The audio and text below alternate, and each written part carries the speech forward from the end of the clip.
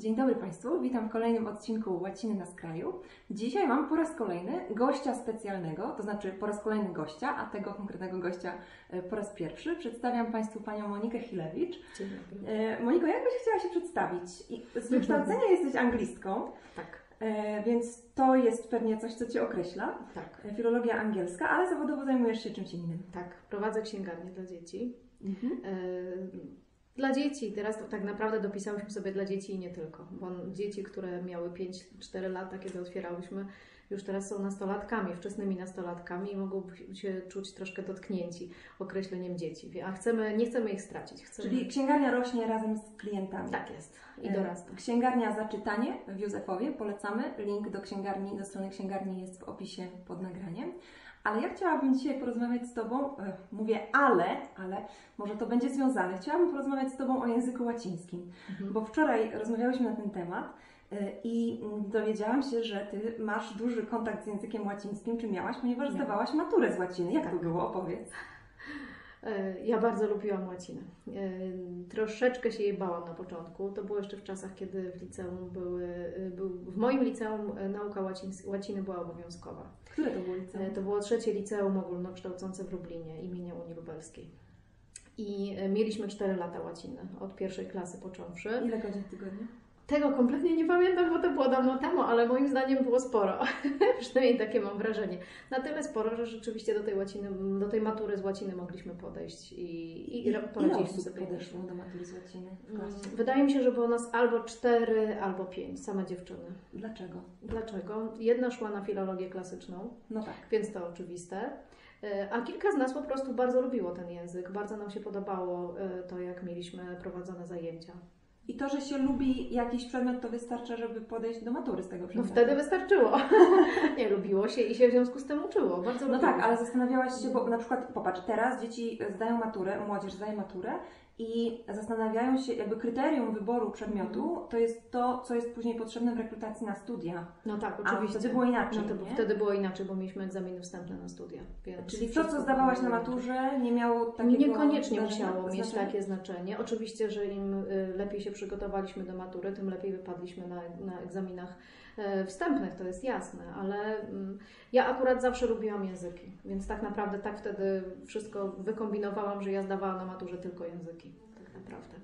I, I to sprawiało mi, do, nie było wtedy ob- obowiązkowej matematyki, y, matury z matematyki, więc, więc mogłyśmy tak naprawdę wybrać to, co chciałyśmy. I, I dla mnie to była duża przyjemność. Mi na przykład łacina bardzo pomogła w uczeniu się później języków, bo ja w ogóle lubię języki. No właśnie to jest moje kolejne pytanie, bo chciałam zapytać, jaki wpływ miała znajomość łaciny, Twoja, bardzo dobra znajomość, bo wy- wydaje mi się, że matura z łaciny w tamtych czasach, to pewnie nie było aż tak dawno temu, ale to były jeszcze te Mhm. dobre czasy, kiedy była swoboda wyboru języka Tak. łacińskiego w szkole.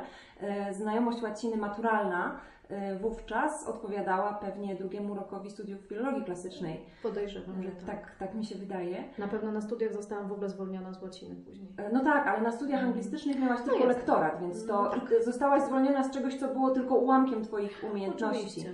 E, Ale właśnie ta znajomość, no bo na maturze, pamiętasz co było na maturze z łaciny? Mm, Pamiętam e, ogólnie, to znaczy na, mieliśmy tekst do przetłumaczenia. Nie pamiętam tego tekstu, co to było, ale coś z jakąś bitwą najprawdopodobniej. A pewnie coś z Cezara. No, podejrzewam. E, Potem trzeba było, wy- losowaliśmy jakąś składnię do wyjaśnienia. A bo to E, ustny był Tak, to było ustne, to było ustne.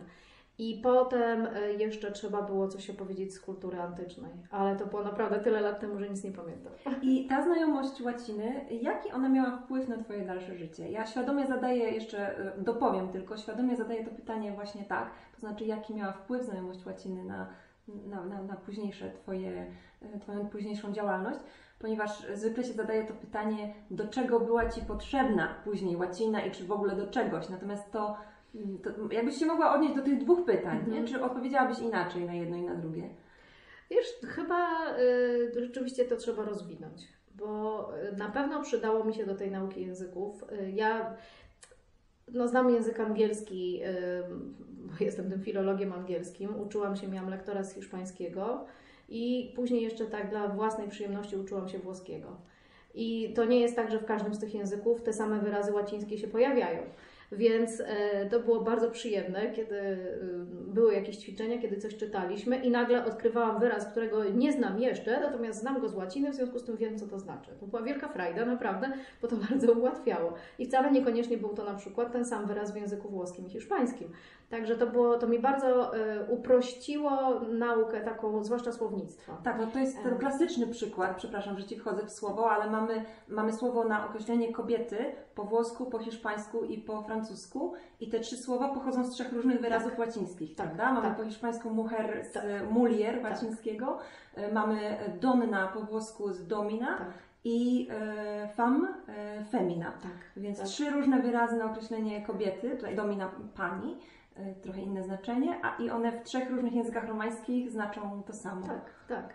Także to było na pewno, y, to były takie, takie prezenciki, kiedy y, uczyłam się tych języków, bo nagle okazywało się, że kiedyś się z tym wyrazem spotkałam.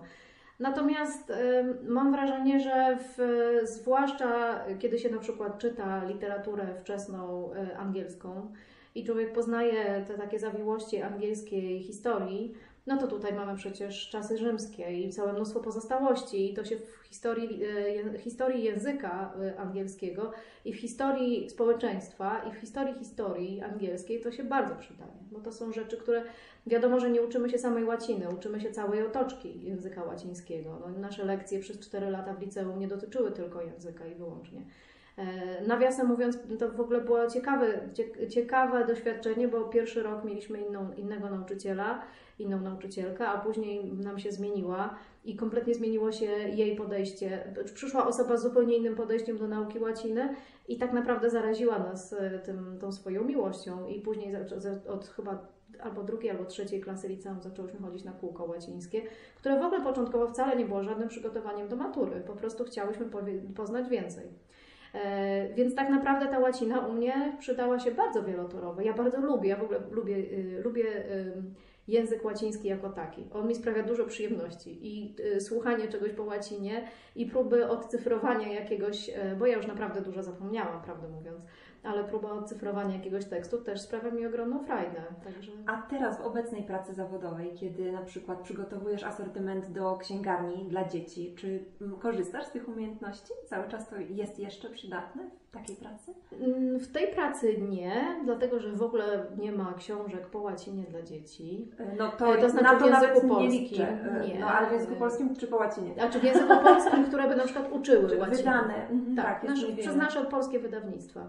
Mm, y, Prawdę mówiąc, y, jedną z pierwszych rzeczy, jakie dla siebie zamówiłam w księgarni, to były fiszki z łaciny, żeby sobie przypomnieć troszeczkę wyrażeń albo jakichś takich, e, takich sentencji A łacińskich. myślisz, że to jest skuteczna metoda, fiszki, żeby się uczyć języka? Niespecjalnie, ja to traktowałam jako zabawę, wiesz, yy, dlatego że yy, ja chciałam trochę moje dzieci nauczyć. Chciałam im pokazać, że znajomość chociażby sentencji łacińskich bardzo się przydaje człowiekowi wykształconemu i mieliśmy, robiliśmy sobie takie zabawy, losowaliśmy fiszki i, i próbowaliśmy zgadnąć, co to znaczy. Były różne bardzo ciekawe interpretacje A dzieci. to były fiszki tekstowe, czy może obrazkowe? Nie, to były fiszki tekstowe. tekstowe, bo właśnie jest, tekstowe. y, rozmawiałam z osobą, która ma pomysł, żeby w ogóle wydać te y, fiszki elektronicznie, fiszki obrazkowe, Mhm. bo to jest, y, to by dużo ułatwiło Tak, i oczywiście. są międzynarodowe wtedy. Tak, no tak, zdecydowanie.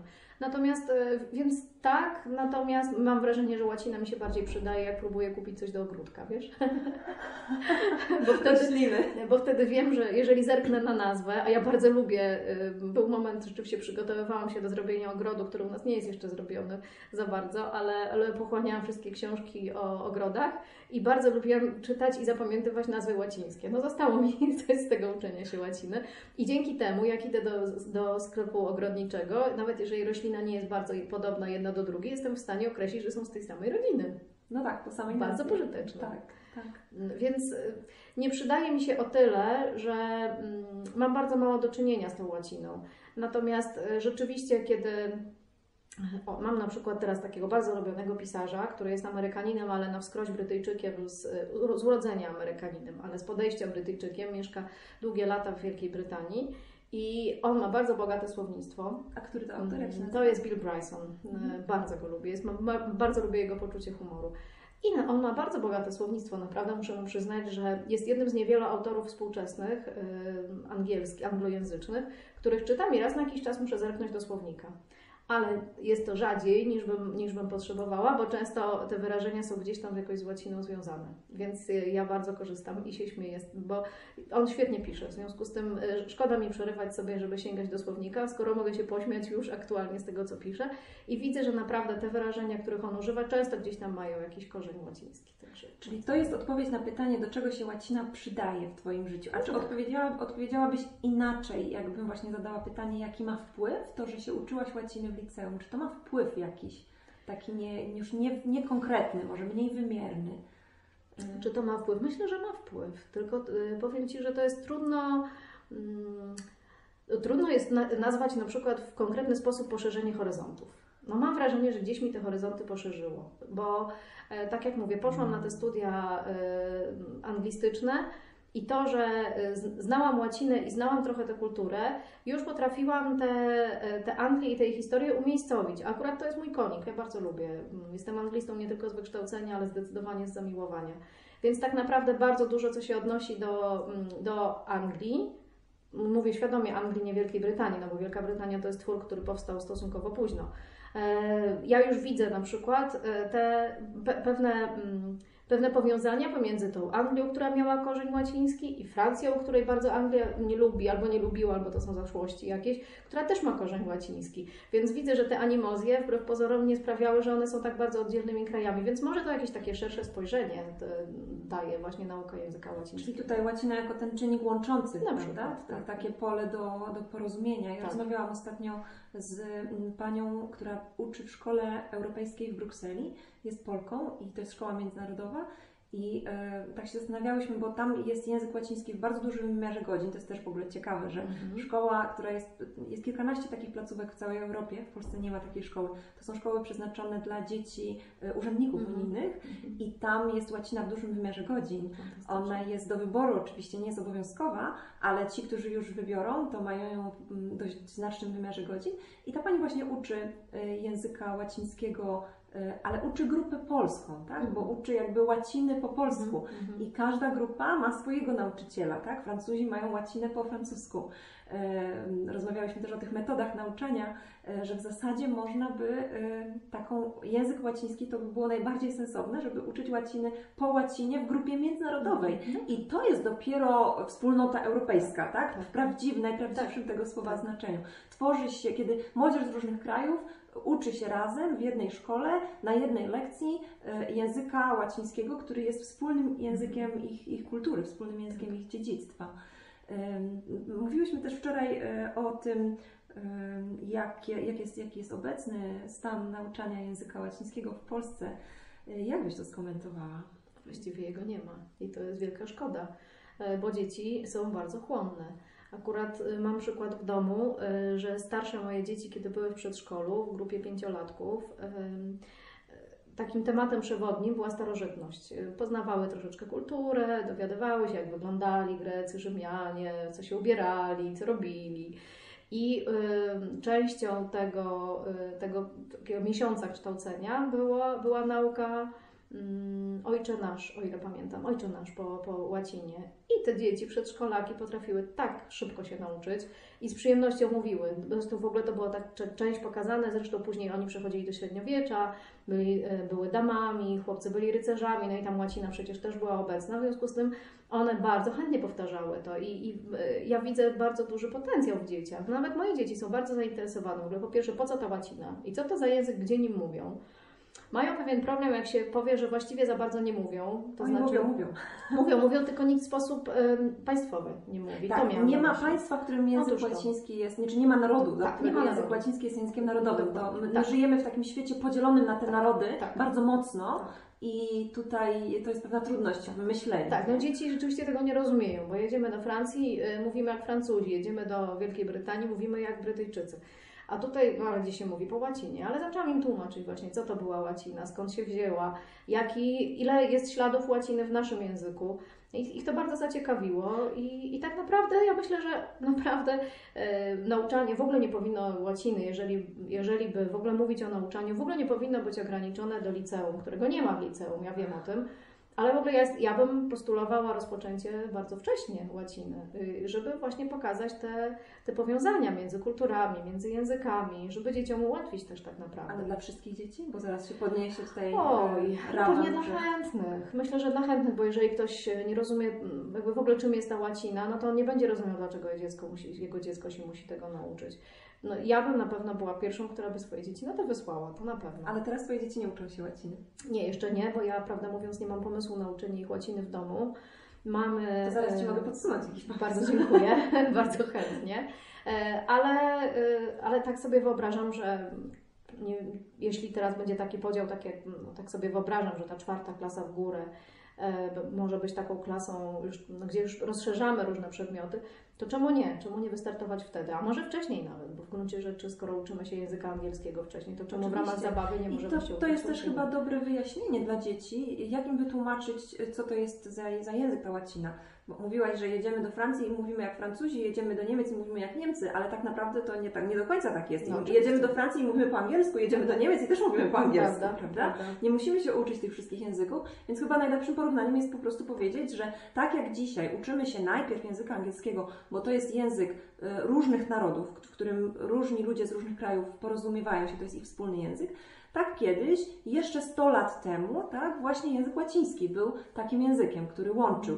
Więc jeżeli jestem zainteresowana czymkolwiek, co ma związek z przeszłością dalszą niż przed II wojną światową, to y, powinnam znać ten język, prawda? Bo to był wspólny język Europejczyków wówczas. Tak, w ogóle powiem Ci, że ta nasza poprzednia e, rozmowa na temat tego, jak bardzo niedawno język łaciński był używany, otworzyła mi bardzo oczy, bo rzeczywiście ja nie myślałam, myślałam o języku łacińskim w kategorii literatury głównie. Natomiast e, jak się spojrzy wstecz na dokumenty e, urodzin i, i zgonów, no to przecież wszystko było po łacinie, także Tak, naprawdę... chociaż tutaj akurat nie trzeba tak dobrze tej łaciny znać, bo to jest pewien ograniczony zasób Jasne. słownictwa. Ale chodzi mi o sam fakt w ogóle zastosowania tego Tak, języka. użycie. Tak. Mhm. Także rzeczywiście, znaczy ja dzieciom właśnie wytłumaczyłam troszeczkę na zasadzie, e, na zasadzie języka angielskiego, to tak jak, tak, tak jak to mówisz, bo dla nich to już jest jasne, że po angielsku starają się mówić wszyscy i chociaż nie, no nie każdy, czasem ja, ja jako anglista czasem bardzo cierpię z powodu tego, jak bardzo wszyscy próbują mówić po angielsku, no ale ja jestem purystą może językowym e, i w języku polskim i w języku angielskim też. E,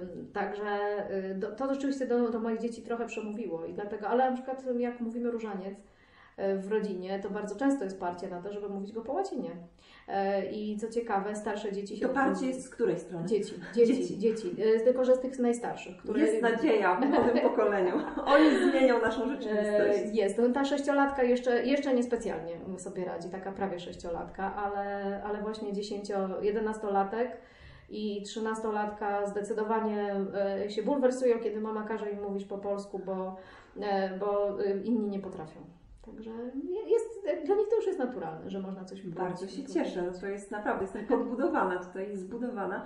E, Jeżeli byś chciała dzieci swoje uczyć języka łacińskiego, no to godną polecenia książką jest ta książka, o której wspominałam Ci też wczoraj w poprzedniej naszej rozmowie, której nie ma na YouTubie, To była prywatna. to była prywatna. E, Książka Hansa Erberga, Familia Romana, e, Mhm. Lingua Latina per se illustrata się nazywa seria e, tych książek, czyli język łaciński, e, właśnie per se illustrata, czyli jakby zobrazowany przez Samego siebie. E, To jest, e, to jest tak naprawdę powieść dydaktyczna. Czyli jest rodzina rzymska, jest Juliusz, jego żona Emilia, trójka dzieci. E, Mogę zdradzić, spoiler, uwaga, spoiler alert, że w połowie książki rodzi się czwarte dziecko. I są oczywiście niewolnicy, oni mieszkają w willi koło Tusculum. Yy, I yy, cała historia, tam jest też taki wątek i miłosny, i wątek sensacyjny. Niewolnik ucieka, kradnie pieniądze. W czwartym rozdziale niewolnik kradnie pieniądze, potem jest poszukiwany. Yy, Grozi mu ukrzyżowanie, yy, taka kara dla niewolników. Yy, Więc bardzo ciekawa książka, 300, pra- prawie 350 stron. Książka napisana przez Duńczyka e, w latach 60. przez Hansa, profesora Hansa Erberga, e, który mm, napisał ją trochę dla swoich dzieci i też na podstawie swojego własnego życia rodzinnego. Więc ta książka czyta się ją, jeżeli się ją czyta z takim filtrem, to widać, że tam jest tam właśnie prawdziwe życie rodzinne, jakieś tam kłótnie, sprzeczki, ludzie się godzą, chłopiec ma złe oceny w szkole, ucieka ze szkoły, takie prawdziwe życie. I to się wszystko dzieje na początku II wieku w starożytnym Rzymie. Książka w całości napisana w języku łacińskim i właśnie napisana jako samouczek. To znaczy od samego początku czytasz tekst, tam jest dużo gramatyki, ale ona jest jakby wyjaśniona trochę obok, natomiast w zasadzie można tylko czytać historię od pierwszej strony i od pierwszej strony już ta historia jest zrozumiała. Wszystko to, co jest trudniejsze, jest wyjaśnione na obrazkach albo później już przez synonimy. Więc książka była pisana, Herbert pisał ją również z, myśl, z, myślą o swoich dzieciach. Tam jeden chłopczyk ma chyba 8 lat, a drugi 10 i to, są, to jest odzwierciedlenie jego synów, e, synów e, autora tej książki. Więc spokojnie z dziećmi, które mają 8 lat, można tą książkę czytać. No, e, ja używam tej książki ze studentami na pierwszym roku filologii klasycznej. Na Uniwersytecie Wrocławskim przerabiamy całą tą książkę w, prawie w rok ją kończymy. E, mamy 6 godzin w tygodniu.